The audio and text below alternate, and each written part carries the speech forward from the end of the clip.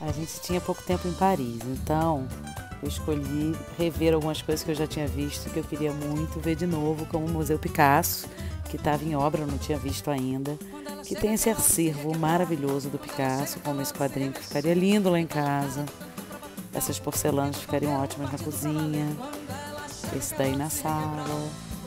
Depois a gente vai dar uma voltinha, porque afinal de contas, né, Paris é a cidade do amor. E aí, ostrinhas para o jantar. No dia seguinte, a gente foi no Pompidou, porque é um museu que sempre vale a pena ir.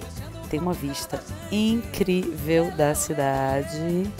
Tinha uma exposição para criança que eu achei muito, muito, muito legal. Além do acervo permanente, que é maravilhoso sempre rever também. Depois fui almoçar, comer essas beirinhas, pãozinho com manteiga, hum, delícia.